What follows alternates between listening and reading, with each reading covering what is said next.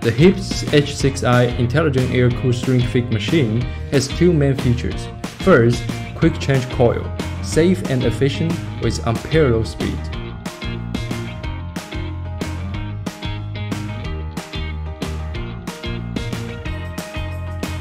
Second, intelligent scanning. No prior training required, ready for immediate operation, eliminating the possibility of overheating.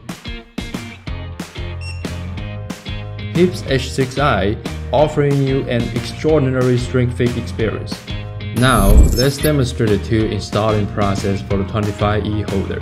First, we'll be using the K620 coil and the HSK25 base adapter. By scanning the QR code with a scanner, the handles model will be displayed. Next, place the 25E holder inside and lock it into place. Pull down on the coil and according to this chart, align with the orange line inside the coil. After that, click Start to begin the installation. Next, we will showcase the installation process for the SP25 holder. Initially, you will need to replace it with a K655 power coil and HSK63 base adapter. Directly scan the QR code and the holder's model number will appear on the screen. Pull down the coil and click Start to install the extension holder. Following this, we need to install the tube. Firstly, replace it with a K635 coil. Directly scan the QR code and the holder's model number will appear on the screen.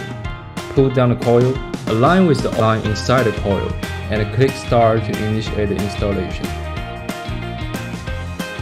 Finally, let's demonstrate the tube removal process for the SRV holder. Directly scan the QR code and holder's model number will appear on the screen.